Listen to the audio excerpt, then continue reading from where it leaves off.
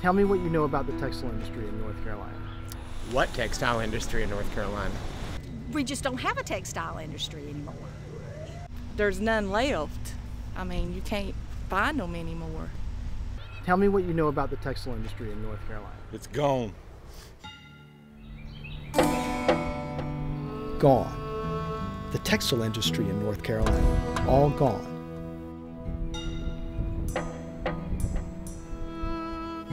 I'm Robert Shank Newton. I'm a documentary producer from Chapel Hill, and I was raised in a textile family, one that goes back six generations in textiles. In 2006, I noticed people beginning to say the textile industry in North Carolina was gone, completely gone. That shocked me, and I knew it wasn't true, but my own family's textile company was struggling. And I wondered how many of the thousands of textile companies that once spread through every county in North Carolina were still left. Was it only a matter of time before the last company, sort of like the last woolly mammoth, became extinct? I kept talking to people, and one thing became clear about North Carolinians. We still had our opinions about things like the best beaches or the best barbecue. But in 2012, it became clear to me people had no idea what had happened to the single biggest industry the state had ever known. The textile industry built North Carolina and it made it possible for all of these little towns to spring up, people to have good jobs, and ultimately we had hundreds of thousands of jobs in this state. These names, once so familiar to every North Carolinian, are woven into the fabric of this state. Companies, which often became the very bedrock of towns, large and small. Charlotte, with its gleaming skyscrapers, was built on the banking industry, but the banking industry in Charlotte was built with textile money. The Dean Dome in Chapel Hill, indeed the entire UNC system, as well as our community colleges, would not have been built without the money made from textiles. The Greensboro Coliseum, you name it, the list goes on and on to the point one has to ask what happened? How could an industry so vital to one state have simply disappeared? Or has it? In the next half hour, we'll try to find the answer to those questions.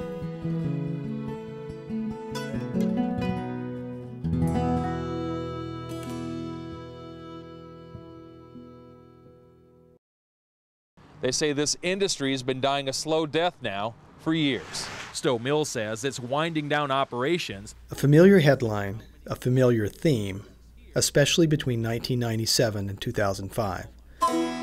Another textile company either closes or announces it's moving its operations out of North Carolina. For an industry built over a hundred year period, the unraveling was swift and brutal. All told, over 160,000 jobs disappeared. For many workers laid off, it was the last well paying job with benefits they would see for a long time. Jim Fain was Secretary of Commerce during those challenging years. And it was clear to Governor Easley and to us in the Department of Commerce that uh, in many respects, uh, these represented changes in our economy for which there was no going back. The world many North Carolinians had come to take for granted, that of a stable, growing textile industry that anchored many large and small towns, was rapidly changing. Dan St. Louis, a textile veteran, saw the first hints of that change at a textile and apparel trade show called Magic in Las Vegas. A show so dominated by American textile and apparel companies, he recalls the first time he even noticed a foreign manufacturer there at the Sands Hotel. You know, we started seeing in 99, they had a little area at the bottom of the Sands, which was a few vendors from various countries. It was basically a, a table with some pipe and drape behind it. You know, it wasn't very sophisticated. Not very sophisticated. That was 1999. This is the same show in 2012.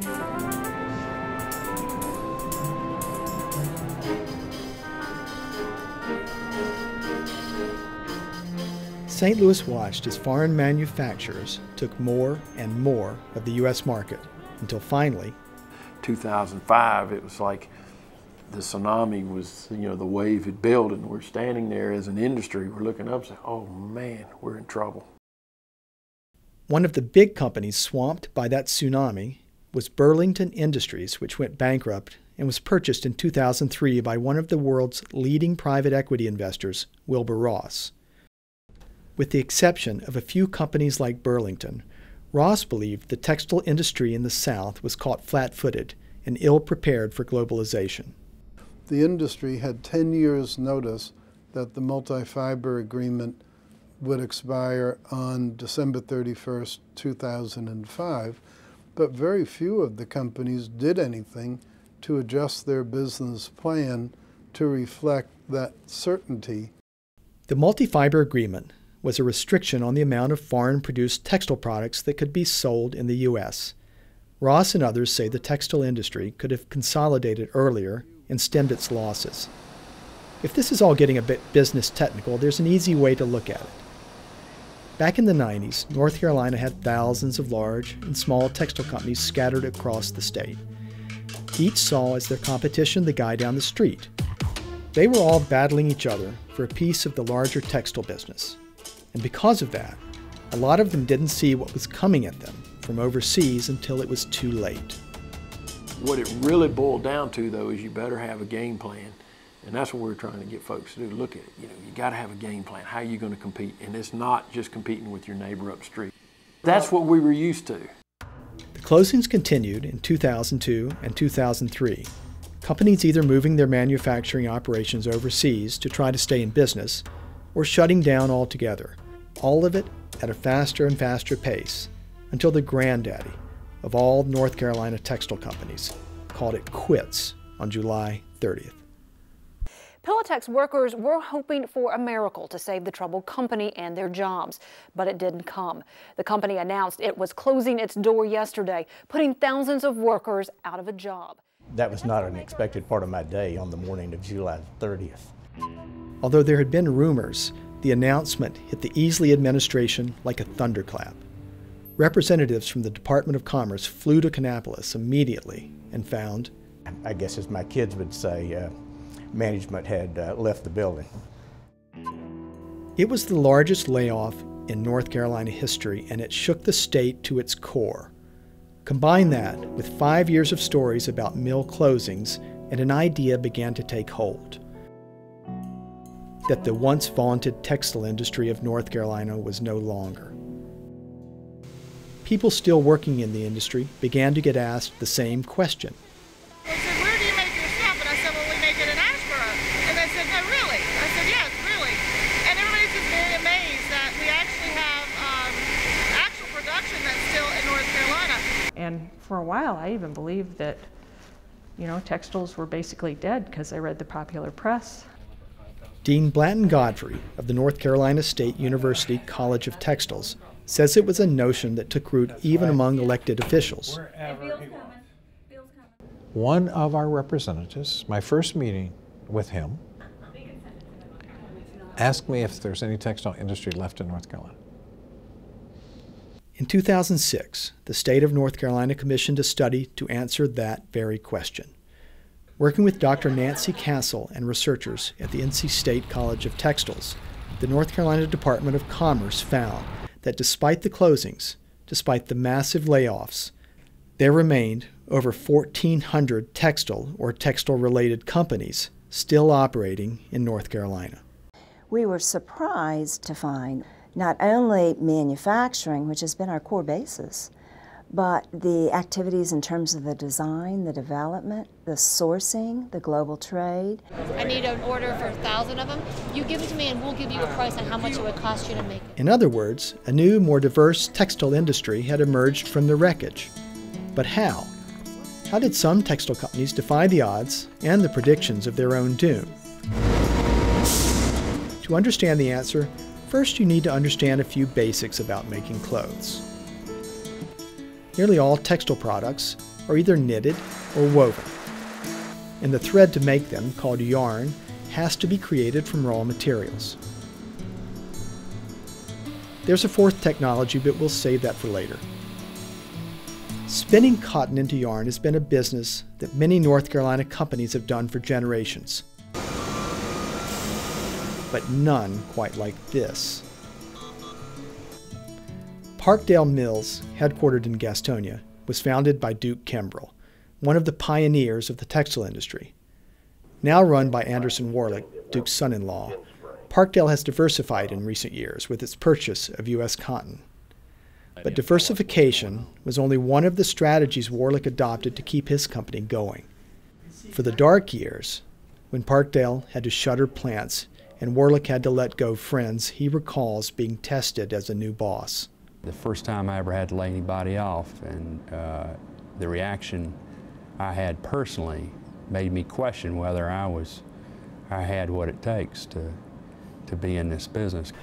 Part of his learning curve as a CEO was realizing that the globalization of the textile market brought with it a new way of doing business. Duke used to be able to pick up the phone in bad times back in the 70s and call a buddy and say, hey, business is off. I need an extra truckload of yarn, and they'd take it away from some another supplier because they had a relationship like that. Those relationships were going away. Though Parkdale has opened manufacturing plants in Honduras, it recently made a $50 million investment, the biggest in the company's history, just across the line in Gaffney, South Carolina. The phrase textile mill hardly seems adequate to describe one of the largest, most technologically advanced manufacturing facilities in the world. This plant raises efficiency to an art form. The 96.8 is the percent efficiency that we're currently running and spinning. Overseas spinning plants, the ones Parkdale competes with, typically run a little over 80% efficiency. This plant runs much higher. The efficiency numbers are tied to individual employees who are responsible for keeping those numbers high. It's people and machines that enable Parkdale to stay on top. Right now, we are the largest, so we're going to have people that are going to try to knock us off.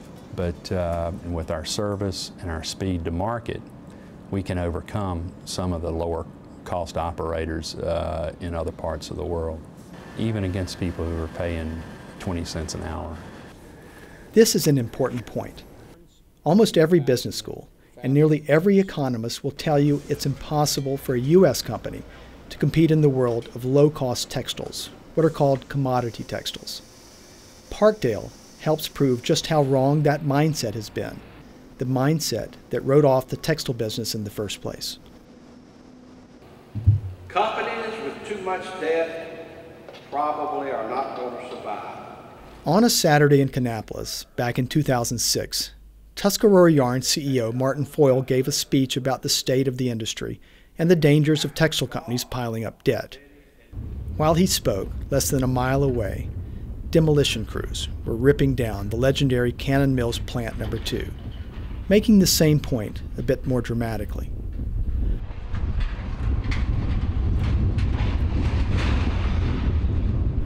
Foyle knows something about survival, having almost lost his own textile firm years earlier. I hit the wall. And yeah, I didn't think I'd make it for a while. And the light came on one day. I said, you know, we can't do this anymore. We cannot expand in this area.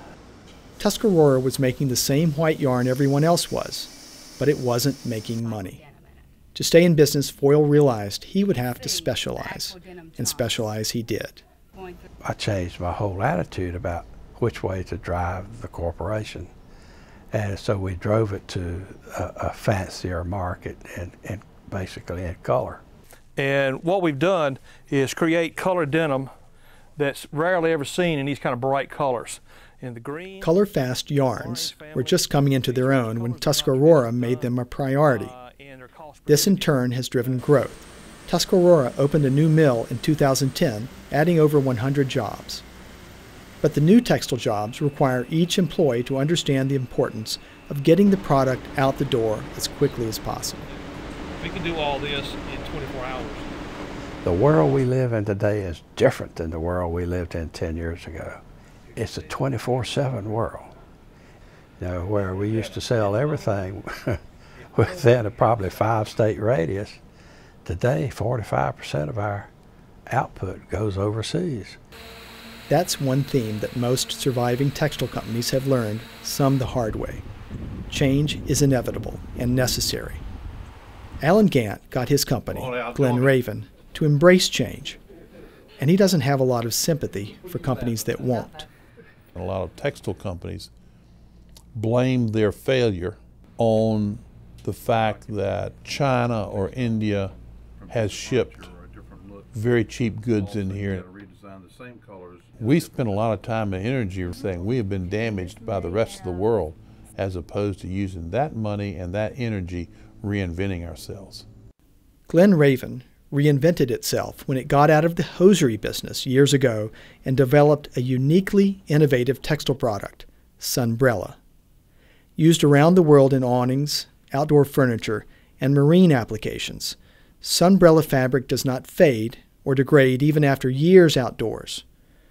Though Sunbrella's been wildly successful for Glen Raven, Gant says he has no plans to settle in and only produce textile products. We have the ability to change fairly dramatically, fairly quickly. And in fact, if we don't reinvent this company every three to five years, then we're loafing. And uh, we just, that's just, that's just part of our culture, it's part of our being. 16 years ago, when Glen Raven was busy reinventing itself, they sold their entire hosiery yarn business in Norlina to Unifi. They sold the business, but they kept the building and its employees, converting the operation to the spinning of high tech yarns that makes Sunbrella. Keeping the employees was risky. After all, most had only ever worked with one kind of technology. Plus, there was another idea I heard whispered over and over again while growing up in the textile business. That is, that you couldn't retrain an old line textile worker. It was better just to let them go and build a new workforce when you switch technologies. I've been in the textile business actually about 30, about 39 years total. Melvin Hargrove is one of those old line textile workers people used to whisper about. As a manager with Glen Raven, it was his job to adapt to the new technologies and to get his fellow employees to follow. It was not easy. I will not sit here and tell you it was easy. People, employees, they don't embrace change at first. There was some resistance, but Hargrove says most employees saw the writing on the wall and eventually did embrace it as an opportunity. Allen Gant says he never doubted they could make the change. Because those employees were some of the most innovative people we had ever run across. In nine months, we completely retooled that plant, retrained all the employees, put them back to work. I would say 75, 80% of our people had never been through a process like this or never seen ring spinning. And, and people just did a heck of a job in transitioning from where we went to to where we are today.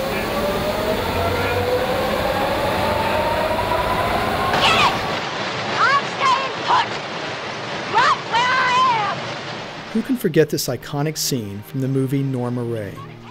Sally Field refusing to leave the mill where she's trying to organize a union. For many Americans, this movie was their only window into the world of Southern textile mills, and it was not a pretty one. To be sure, there have been cases of maltreatment of workers in mills, as there have been in every industry. But the fact is that the week in 1979, when Norma Rae was released, employees at Acme McCrary in Asheboro were taking a swim in their company pool. They're still swimming in that same pool. We've got an indoor swimming pool, and we've got uh, weight rooms, and we've got activity rooms. CEO Bill Redding says wellness and health care for its employees are values ingrained in the culture at Acme McCrary. We believe in wellness. Uh, we're one of the pioneers. We actually started it in 92 before it was even fashionable to be into the wellness business.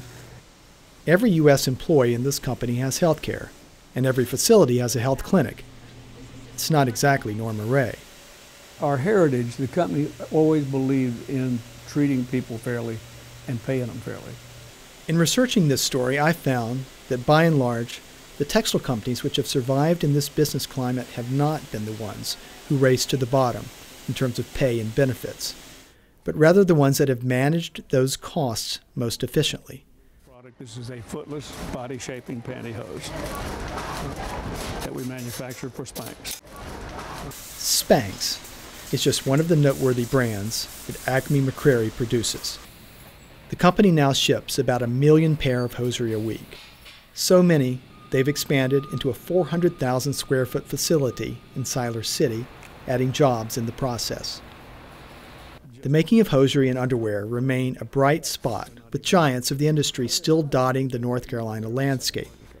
Firms like Hanes, Kayser-Roth, and Holt continue to thrive.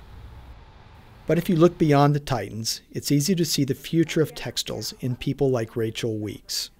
I wanted to start a collegiate apparel lifestyle brand, and I wanted to start something really design driven, but one that also honored the um, the craft and the artistry of making beautiful garments. Weeks founded her apparel company, Schoolhouse, after graduating Duke. She spent a year establishing a manufacturing base for her products in Sri Lanka, one which paid living wages in a country not known for it. But Weeks found herself a victim of her own success. We had gotten to a place where we were competing for factory space with some very large clients. Um, and we put our heads together and started doing some hunting around the US and primarily North Carolina and found some gems that, you know, we just had no idea. I mean, I spent four years at Duke and had no idea there was a factory, you know, five minutes down the road making garments. Tyler Bennett and a business partner purchased Mitts Knits in 2009 as they began to see a tidal shift in overseas manufacturing. And we also had been doing some manufacturing, like Rachel, overseas in the Far East. We were kind of seeing the same thing. A lot of the labor costs were going up, the turnaround time, the shipping time that it took uh, to ship the goods back. But purchasing an older manufacturing facility didn't come without second thoughts. Well, hey, would we be crazy if we started uh, looking into buying manufacturing or a manufacturing plant here in the United States? As they slowly broadened their client base over the next year, they realized it wasn't crazy at all. In fact, their gamble was going to pay off. Then Rachel Weeks walked in with an offer, a modern approach to the relationship between vendor and client. We see this as a partnership, even though you know we're buying finished goods from them, and that part of it is you know a pretty traditional sort of relationship.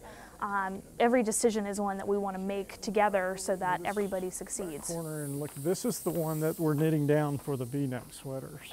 For us, made in America means a higher quality. It means, you know, 21st century approach to design, and um, and so I think that in terms of being competitive, you have to align that vision, especially with your partners.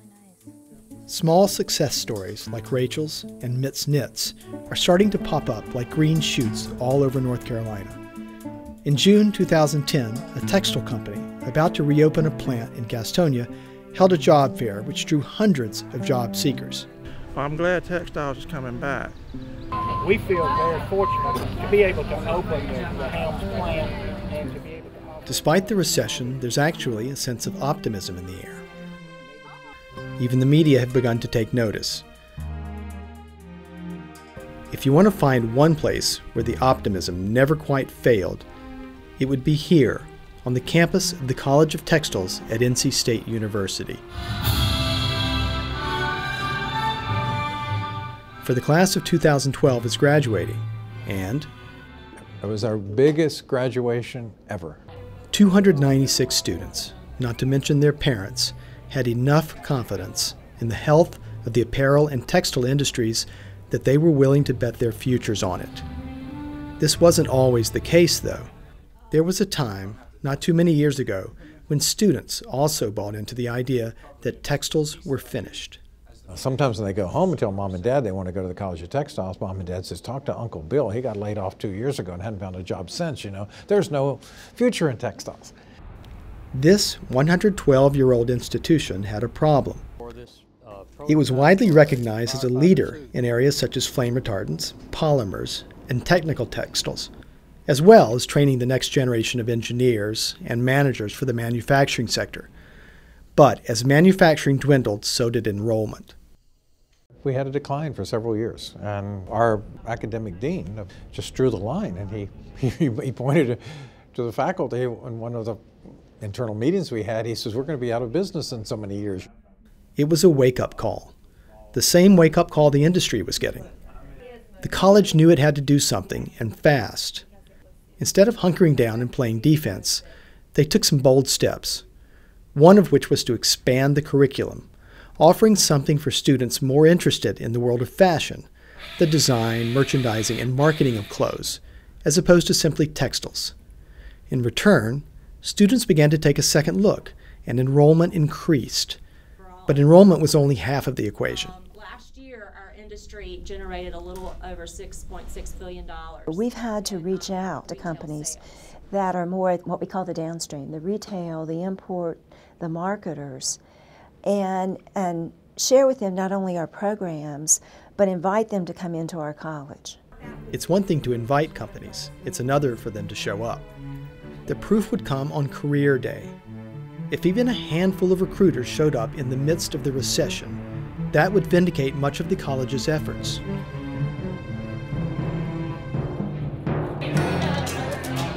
Businesses and recruiters showed up in droves. So many it was hard to find space for them. Just as importantly, it showed the textile business and the apparel business still believed in their own future.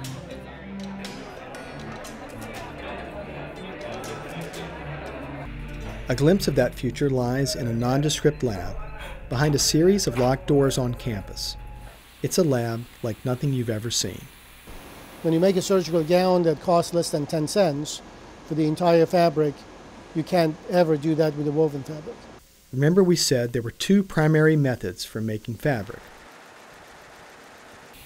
Well, there's a third method. Unlike knitting and weaving, fiber is literally sprayed into the form of a web. Those webs are then pressed together to make cloth. It's called non woven fabric, and it's been around for years, though most people don't realize it.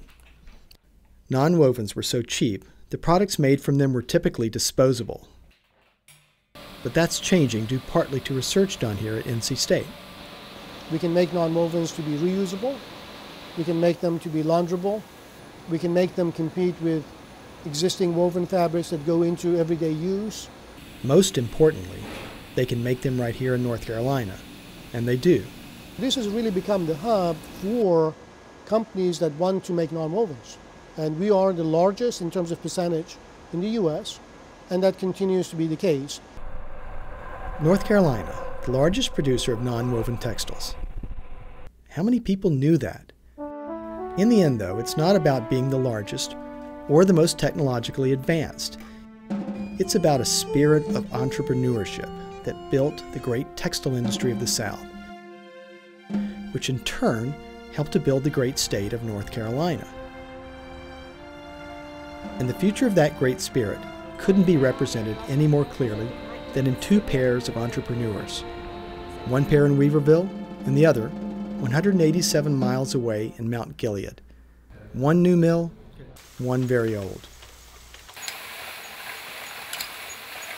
Julie Jensen, a lawyer by training, wanted to get back to her roots in farming and weaving natural fibers. She bought some land in Weaverville and built a state of the art natural fiber processing facility she calls Echoview. Only problem Julie knew little about running a textile mill, so the first person she hired was Gwen Perkins. She has that textile background um, that I don't have. Textiles has always been my hobby, uh, in addition to my vocation. Perkins would need both aspects of her experience to learn the ins and outs of getting fiber from the alpaca to the skein, since Echoview would be one of the only natural fiber mills on the East Coast. It's a very unique business, and there are so many variables, uh, regardless of which end of it you're in, whether you're in vegetable fibers or animal fibers or, you know, knitting, weaving, whatever. It's extremely complex, and there are a lot of variables, and you can learn something every single day. Um, part of what we want to do is teach other people um, about textiles and where your clothes come from so that people can make a good decision. while Echoview, with its glass and steel design, is fast becoming a landmark near Asheville, down in Montgomery County, most drive past this old service station without even noticing it. Do you consider yourself a textile mill? Sure. Don't you think so? Joyce Sedberry and Marty Richardson became textile entrepreneurs not so much from desire, but more out of necessity when the mill they worked at closed down. We couldn't get a job anywhere else, you know, we were too, uh, older. And for some reason, we just sit and talked about it. After talking, they got themselves a couple of World War II era knitting machines and started doing the only thing they knew how to do knit socks. Their business plan? Marty put one on eBay and people would bid on it. Sometimes they would go as much as what? $10 a pair for just for a, a knee high. So they squeezed into this old gas station, and with help from Marty's daughter Emily, they built themselves a business knitting socks. One sock every nine minutes. But that's all it took to make a living for the two of them, and that's all they were after. They use these little, they're called pattern jacks, and you can see the pattern in there. Could you have more business if you wanted it? Yes. You can't handle it anymore. Like the biggest textile corporations, the ones still standing, these two textile executives managed to find a way to keep their company going, one sock at a time. it's in our blood, just knitting socks, and you know, we're just happy just to be working, you know. It's in our blood. Perhaps no other sentiment captures the reason North Carolina maintains such a strong presence in the textile industry, despite all the closings and all the layoffs. Textiles is what we know in this state. It's what we're good at. And in case you were still wondering about the textile industry, yes, it's still standing.